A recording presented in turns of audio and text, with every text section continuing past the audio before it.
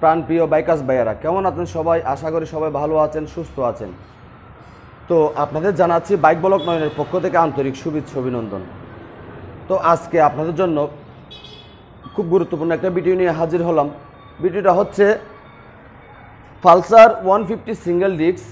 এই বাইকটি আমাদের বাজাজ বাইক শপে গতকাল রাত্রে আমাদের এই বাইকটি দিয়ে গেছে। তো কেন দিয়ে গেছে বাইকটি? এই বাইকটি দিয়ে যাওয়ার কারণ হচ্ছে বাইকটি মাস্টার সার্ভিস করবে। তো মাস্টার সার্ভিস করব ঠিক আছে কিন্তু এই বাইকের কতগুলি সমস্যা এই সমস্যাগুলি আমরা জব কার্ড করলাম। জব কার্ডের মধ্যে কী কী সমস্যাগুলি এই বিষয়গুলি আমি আপনাদের সামনে তুলে ধরবো। আপনারা দেখতে থাকুন আজকের ভিডিও আসসালামু আলাইকুম। ইসলাম আচ্ছা এই পালসার সিঙ্গেল ডিস্ক বাইকটি তো গতকাল রাত্রে আমাদের বাজাজ বাইক শপে দিয়ে গেছে সার্ভিস করার জন্য। তো এই বাইকের যে সমস্যাগুলি কাস্টমার আমাদের জব কার্ডের মধ্যে নোট করে গেছে। একটু এই বিষয়গুলি আমার ভিউয়ার্সদের উদ্দেশ্যে বলেন।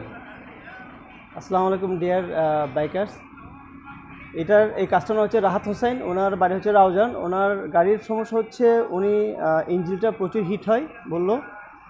আর ক্লাস প্লেট দুর্বল বলছে, ওনার গাড়িটা রানিং স্পিড যেটা সেটা সে পাচ্ছে না। আর ওনার যে চেন স্প্রোকেট আছে চেন স্প্রোকেটের ওখানে শব্দ করে মাইলেজ পাচ্ছে না, আর ব্রেকিং প্রবলেম ইঞ্জিন হেডে নয়েস হচ্ছে।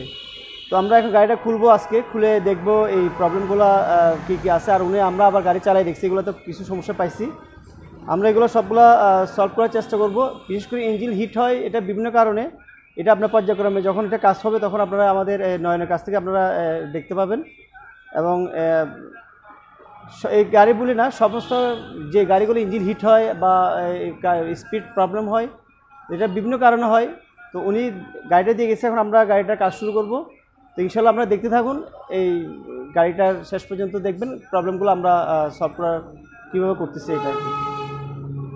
ধন্যবাদ আপনাকে। তো আমরা প্রথমে বাইকের seat fuel tank set cover খুলে নিচ্ছি। তো প্রথমে আমি এই বাইকের ইঞ্জিন অয়েলগুলি চেক দেবো। যদি ইঞ্জিন অয়েল কমে যায়, সেক্ষেত্রে কিন্তু বাইকের ইঞ্জিন প্রচুর পরিমাণে হিট হবে। তো ইঞ্জিন অয়েল কতটুকু আছে, সেই বিষয়টা প্রথমে আমি চেক করে দেখব। তো মাস্টার সার্ভিস করার জন্য বাইকটা আমরা আস্তে আস্তে সম্পূর্ণ খুলে ফেলব। খোলার কাজ কিন্তু শুরু হয়ে গেল। তো গাড়িটা কত কিলোমিটার চলছে, সেই বিষয়টা আমি আপনাদের দেখাচ্ছি। চুপ্পন্ন হাজার চারশো পঁচানব্বই কিলোমিটার এই বাইকটি রাইড করা হয়েছে। তো এখন বাইকটি আমাদের বাজাজ বাইক শপে আনছে মাস্টার সার্ভিস করার জন্য। তো আমি চেষ্টা করব এই বাইকের সব সমস্যাগুলি সমাধান করার জন্য। আপনারা দেখতে থাকুন, ভিডিওটা কিন্তু অনেক বড় হবে। তো আপনারা ধৈর্য সহকারে ভিডিওটা দেখবেন, আপনাদের উপকার আসবে। ইঞ্জিন অয়েল ডেন দেওয়ার পর এখন অয়েলগুলো আমি মাপার জন্য একটা মোবিল সুপার ফুটি বোতলের মধ্যে নিচ্ছি।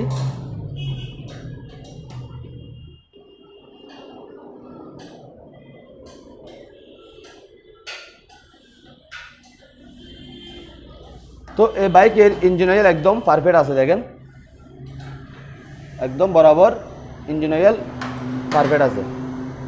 তো এই বাইকের ইঞ্জিন ওভার হিট হচ্ছে, এক কথায় বাইকটি চালিয়ে মজা পাচ্ছে না। তো প্রথম আমি ইঞ্জিন অয়েলটা ডেন দিলাম। ইঞ্জিন অয়েল ডেন দেওয়ার পর দেখতেছি ইঞ্জিন অয়েল একদম এক লিটার আছে। তো সেক্ষেত্রে এখন আমি অন্য কাজগুলি শুরু করব। হ্যাঁ। ইঞ্জিন গরম হওয়ার পিছনে আরেকটা বিষয় আছে, সেটি হচ্ছে বাইকের এয়ার ফিল্টার ফোম দেখেন এয়ার ফিল্টার ফোমটার কী অবস্থা?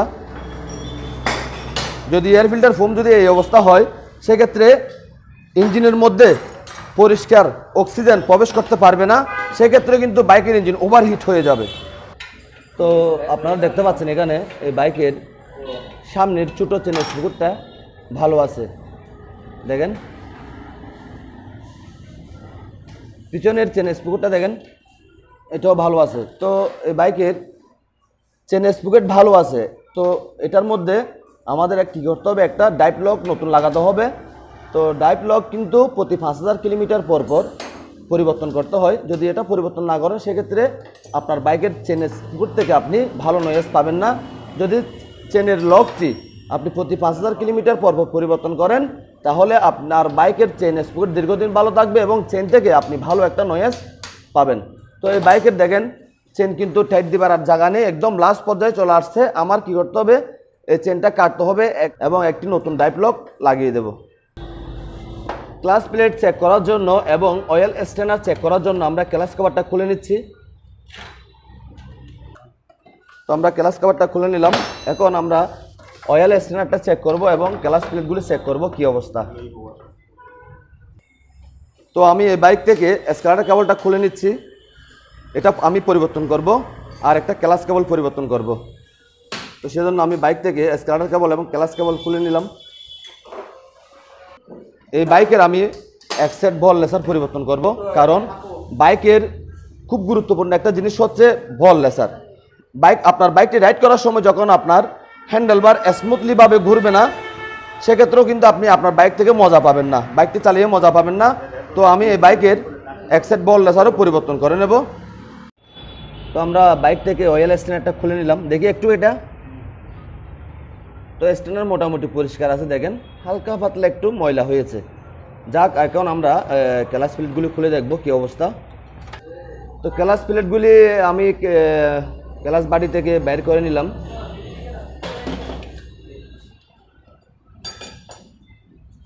দেখি প্লেটের কি অবস্থা।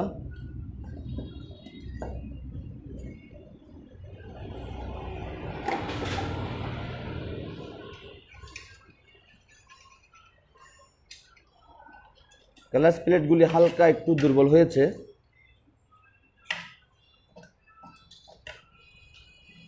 ফিঙ্গার ভালো আছে।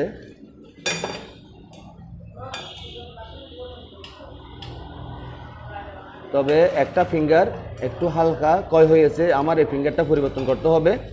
তো একটা পরিবর্তন না করে কি করতে হবে? দুইটি ফিঙ্গার একসাথে আমি পরিবর্তন করব এই বাইকের মধ্যে এবং ক্লাস প্লেটগুলি পরিবর্তন করব, কারণ ক্লাস প্লেটগুলি হালকা হালকা ফুরে গেছে, দেখেন। পাই, ধরেন যেখানে একশো পার্সেন্টের মধ্যে এটা, ধরেন সত্তর পার্সেন্ট ঠিক আছে আর তিরিশ পার্সেন্ট নষ্ট হয়ে গেছে। তো সেজন্য আমার এগুলিও পরিবর্তন করতে হবে কারণ গাড়িটা প্রচুর পরিমাণে হিট হচ্ছে। তো আমরা এখন এই বাইকের মালিককে কল দিলাম গাড়িতে কি কি পার্টস লাগবে সেই বিষয়টা ওনাকে জানানোর জন্য এবং উনি অনুমতি উনি যদি অনুমতি দেয় সেই পার্টসগুলি আমরা ওনার বাইকের মধ্যে লাগাবো। ক্লাস কেবল লাগবে। এটার প্রাইস পড়বে পাঁচশো টাকা তারপর হচ্ছে অ্যাসকেটার কেবল লাগবে এটার দাম পড়বে তিনশো পঁচাত্তর টাকা। তারপর হচ্ছে আমরা ভল রেচার, যেটা যে সামনের স্টিয়ারিং রেচারটা হ্যাঁ ওটা লাগবে নশো টাকা। দুইটা স্পার প্লাগ লাগবে স্পার প্লাগের দাম আসবে দুইটা চারশো পঞ্চাশ টাকা। তারপর হচ্ছে আপনার এয়ার ফিল্টার লাগবে। এয়ার ফিল্টার প্রাইস হচ্ছে তিনশো পঁচাত্তর টাকা। ক্লাস প্লেট ক্লাস প্লেটটা লাগবে। ক্লাস প্লেটের দাম পড়তেছে উনিশশো পঞ্চাশ টাকা। আর হ্যাঁ হ্যাঁ ক্লাস প্লেটটা খুবই উইক হয়ে গেছে, এই কারণে এটা লাগ- লাগবে। ক্লাস প্লেটের সাথে দুইটাই আছে। ওই যে হাফ ক্লাস হুইল ক্লাস অর্থাৎ এই দুইটা দুইটা চেঞ্জ করতে হবে। ওটা হাফ ক্লাসের দাম পড়বে ছয়শো পঁচাশি আর হুইল ক্লাসের দাম পড়বে ছয়শো টাকা। তারপর হচ্ছে একটা ক্লাস গেস্টের লাগবে, ওটার দাম একশো পঞ্চাশ টাকা। আর ওই যে চেনের যে চেন যে শব্দ করে চেনের চেন আমরা সম্পূর্ণ চেঞ্জ করতেছি না চেনের লকটা চেঞ্জ করতেছি শুধু। সেটার প্রাইস পড়বে হচ্ছে পঁয়ষট্টি টাকা। আর পিছনে ব্রেক শো হবে ওটা চেঞ্জ করতে হবে, ওটা হচ্ছে চারশো পঁচাত্তর টাকা। আর মোবিল দিচ্ছে হচ্ছে ডিটিএসআই মোবিলটা। ওটার দাম পড়তেছে আপনার সাতশো পঞ্চাশ টাকা। DTSI Mobil. লালটা না ওই সাদাটা দিচ্ছি। আপনার গাড়ি ওয়ান ফিফটি তো? সেই জন্য ওই সাদাটা দিচ্ছি ওটা আপনার পনেরোশো কিলোমিটার চালাতে পারবেন। আর হচ্ছে আপনার হচ্ছে হাফ বিয়ারিং লাগবে ক্লাস যেহেতু ওই যে পিছ- পিছনে চেন স্পোর্ট আছে না chain sprocket half half axle বলো ওখানে একটা বিয়ারিং আছে ওটা চেঞ্জ করতে হবে। ওটার দাম পড়বে তিনশো পঁয়ষট্টি টাকা। আচ্ছা তাহলে তাহলে করে ফেলেন ভাই হ্যাঁ ওকে ভাইয়া থ্যাংক ইউ ভাইয়া। তো আপনারা দেখতে পাচ্ছেন কাস্টমারকে ফোন করার পর কাস্টমার আমাদের পার্টসগুলি লাগানোর জন্য অনুমতি দিল। তো আমরা প্রথমে ক্লাস কেবল এবং স্কালার কেবল লাগিয়ে নিচ্ছি। অনেকে জিজ্ঞেস করে, আমরা মাস্টার সার্ভিসের মধ্যে যে কাজগুলি করে থাকি এবং আমরা কি কি কাজ করে থাকি, এই বিষয়গুলি অনেকে ফোন করে জিজ্ঞেস করে এবং কমেন্টে জিজ্ঞেস করে। তো আপনারা দেখতে পাচ্ছেন, এখানে আমরা বাইকের কার্বোরেটর খুলে ফেলছে এক কথায়। বাইকটাকে সম্পূর্ণ খুলে ফেললাম। আবার এদিকে বল, লেসার লাগানোর জন্য সামনের স্টিয়ারিংটা আমাদের খুলতে হবে। কারণ এখন এটা খুলতে পারতেছি না, কারণ পিছনের চাকা লাগানোর পর আমরা সামনের দিকে খুলব। তো আগে আমরা ইঞ্জিনের কাজটা এবং টেফিট অ্যাডজাস্ট এবং সুইম আর্ম গ্রিস করার পর আমরা বাইকের মধ্যে ফিটিং করব এবং চাকা টাকা পিছনের দিকে ফিটিং করার পর আমরা সামনের দিকে খুলব।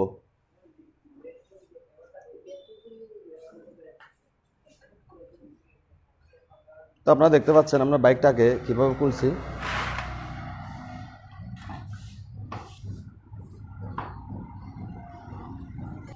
তো আমরা ক্লাস প্লেটগুলি ইঞ্জিন অয়েলের মধ্যে প্রথমে ভিজানোর জন্য ইঞ্জিন অয়েলের মধ্যে দিয়ে দিলাম এবং হাফ ক্লাস, ফুল ক্লাস নিয়ে নিলাম। এখন প্লেটগুলি লাগিয়ে নেব।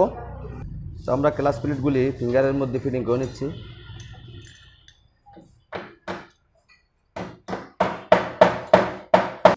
সুইম আর্মের বুশ গ্রিজ করা হচ্ছে।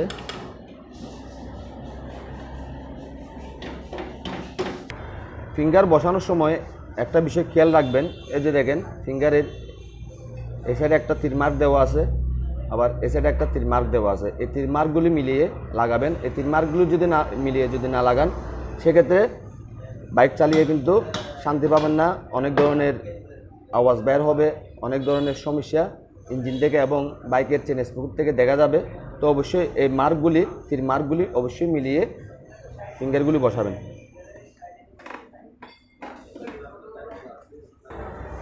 তো আমরা ক্লাস প্লেটগুলি ক্লাস বাড়ির মধ্যে সংযোগ করে নিচ্ছি। ক্লাস বাড়ির নাট টাইট করার সময় অবশ্যই এই হোল্ডারটা ব্যবহার করবেন। এখানে কোনো ভারী দেওয়া যাবে না। যদি বাড়ি দেন, সেক্ষেত্রে বাইকের গিয়ার হার্ট হয়ে যাবে এবং এক কথায় গিয়ার বক্সের সমস্যা হয়ে যেতে পারে। ক্লাস বাড়ির নাট টাইট করার সময় অবশ্যই চকেটটা ব্যবহার করবেন। এই চকেট দিয়ে আপনারা অবশ্যই টাইট করবেন। অনেকে দেখা যায় স্ক্রুড্রাইভার দিয়ে, বা সেনি দিয়ে ভারী দিয়ে এগুলি খুলে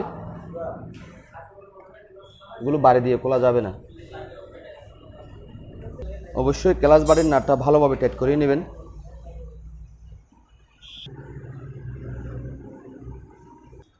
তো আমরা এদিকে সুইম আর্মের বুশ গিরিজ করার পর সুইম আর্মটা আমরা আবার বাইকের সেচেসের সাথে ফিটিং করে নিচ্ছি। সেচেসের সাথে ফিটিং করে নিলাম। ক্যালাস হোল্ডারের দশ নং বোলগুলি লাগিয়ে নিচ্ছি।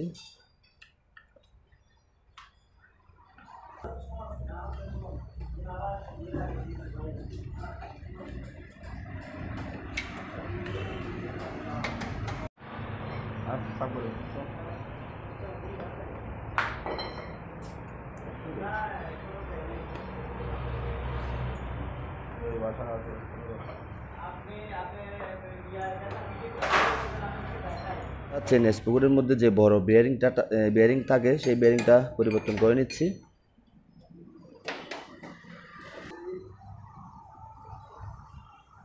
অয়েল স্টেনার পরিষ্কার করার পর আমরা ইঞ্জিনের মধ্যে ফিটিং করে নিচ্ছি। তো আমরা চেনটা দুই খরার মতো কেটে দিলাম।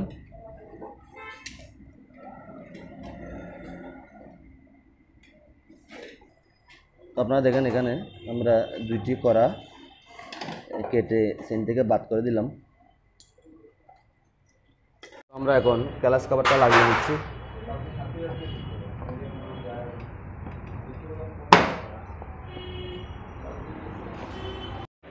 এক সেট নতুন ব্রেক শু লাগিয়ে নিলাম। হাফ হুইলের বিয়ারিং লাগানোর পর, নতুন ব্রেক শু লাগানোর পর চাকাটা আমরা আবার বাইকের মধ্যে ফিটিং করে নিচ্ছি।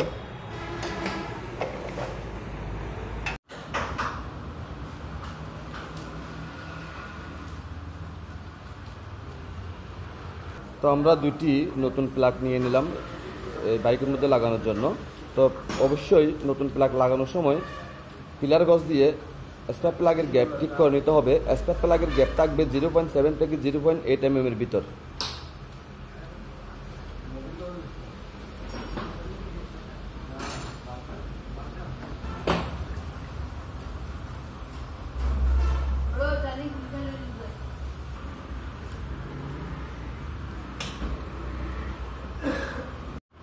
তো আপনারা দেখতে পাচ্ছেন, আমরা এই বাইকটির মধ্যে নতুন বল লেসার লাগিয়ে নিচ্ছি।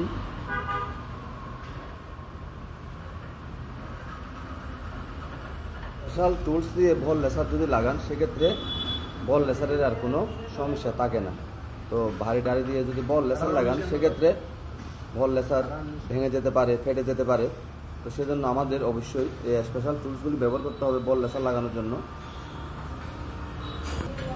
তো আমরা কার্বোরেটরটা ওয়াশ করে নিচ্ছি। দেখেন কার্বোরেটরের কী অবস্থা। কার্বোরেটর তলার মধ্যে এতগুলো যদি ময়লা জমে থাকে, সেক্ষেত্রে বাইকের পারফরমেন্স কমে যাবে। আপনি বাইকটি চালিয়ে আর শান্তি পাবেন না, দেখেন। কার্বোরেটর পিস্টনটা দেখেন, একটু হালকা ক্ষয় হয়ে গেছে। তো এটা সমস্যা নেই, এটা চলবে। তো আমরা যখন কার্বোরেটর ওয়াশ করব, আমরা যদি যে বাইকগুলির কার্বোরেটর বাটারফ্লাই কার্বোরেটর হয়ে থাকে, সেক্ষেত্রে এই রাবারের মধ্যে আমরা কোনো ফুয়েল লাগাবো না। যদি এখানে যদি কোনো তেল যদি লাগাই বা ফুয়েল লাগাই, সেক্ষেত্রে রাবারটা ফুলে যাবে। তো এখানে কোনো তেল দিয়ে ওয়াশ করা যাবে না। কার্বোরেটরের সব জেটগুলি ভালোভাবে পরিষ্কার করে নেবেন এবং এই যে ছিদ্রগুলি দেখতে পাচ্ছেন, সব ছিদ্রগুলি ভালোভাবে পরিষ্কার করে নেবেন যাতে কোনো ছিদ্র জাম না থাকে বা কোনো জেট ময়লা, কোনো জেটের মধ্যে ময়লা যাতে আটকে না থাকে। তো এক কথায় কার্বোরেটরটা ভালোভাবে আমাদের ওয়াশ করে নিতে হবে। স্লো পিকআপের জেট এবং মেন জেট অবশ্যই ভালোভাবে পরিষ্কার করবেন। তার টুপি দিয়ে ফ্লেক্সিবল তারের গুণ দিয়ে অবশ্যই আপনার মেন জেট এবং স্লো পিকআপের জেট অবশ্যই ভালোভাবে পরিষ্কার করবেন। তো আমরা বল লেসার বাইকের মধ্যে লাগিয়ে নিলাম। আপনারা দেখেন স্টিয়ারিংটা একদম স্মুথভাবে ডানে বামে ঘুরতেছে, দেখেন। তো কার্বোরেটর ওয়াশ করার পর আমরা বাইকের মধ্যে কার্বোরেটরটাও ফিটিং করে নিচ্ছি।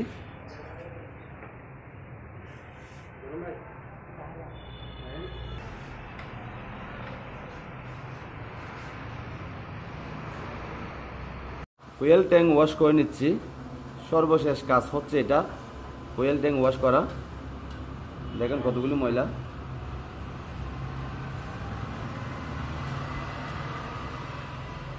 তো অবশ্যই মাস্টার সার্ভিস করার সময় ফুয়েল ট্যাঙ্ক ওয়াশ করিয়ে নেবেন। কারণ ফুয়েল ট্যাঙ্ক যদি ওয়াশ না করেন, সেক্ষেত্রে ফুয়েল ট্যাঙ্ক খুব তাড়াতাড়ি নষ্ট হয়ে যায়, মরে যায় সে। তো আমরা এখন বাইকটাকে ওয়াশরুমে নিয়ে আসলাম ওয়াশ করার জন্য। তো ওয়াশের কাজটা শুরু হয়ে গেছে, আপনারা দেখতে পাচ্ছেন।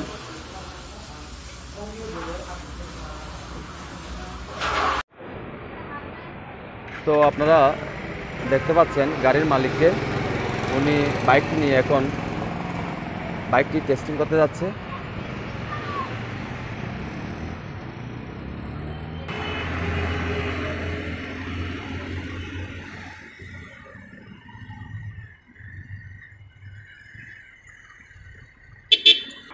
তো আজকে এই বাইকের মাস্টার সার্ভিস করছি। মাস্টার সার্ভিসের মধ্যে কোন কোন কাজগুলি করছি এবং কি কি পার্টস এই বাইকের মধ্যে আমি লাগিয়েছি, সব বিষয়গুলি আপনাদের সামনে তুলে ধরছি।